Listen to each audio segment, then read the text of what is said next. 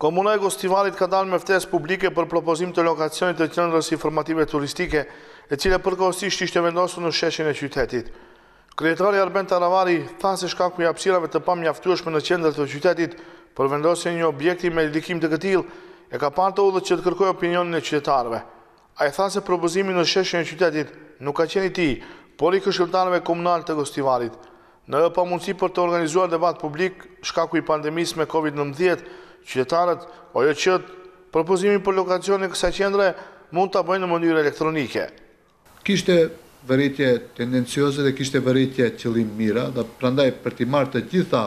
opinionet, ne vendosëm si administratë komunale t'ju japim shans të gjithë qytetarëve deri të enjten në ora katër.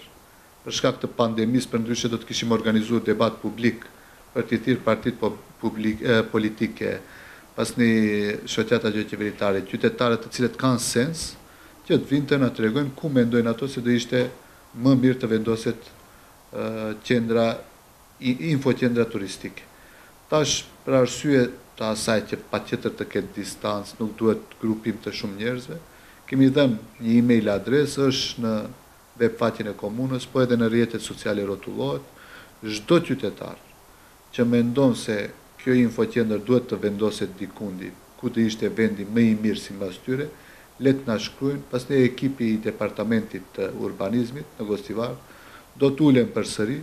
dhe do të vendosin, domethënë ky vend ku është i vendosur nuk është vend fiks se nuk mund të lëvizën. Mundemi ta lëvizim derisa nuk i kemi instalu ujin, rrymën, domethënë kemi mundësi dhe e shoh që ka njëfarë them kështu prej qytetarëve sikur janë mërzit se na e prish qendrën, unë pajtohem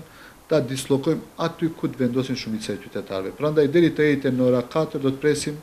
feedback prej qytetarëve, të gjithë të na shkruajnë. Taravari tha se ka plot vende turistike për t'u vizituar në Gostivar dhe kjo qendër do të krijon mundësi që kjo sferë edhe më shumë të zhvillohet në të ardhmen. Gostivari ka hapësira turistike, ka burimin e lumit Vardar në Vërtok, e ka shpellën Bukuroshja në Gjonovicë, të cilën e vizitojnë shumë njerëz, ka staza të mira për të ecë për shumë qytetarë, ka staza të mira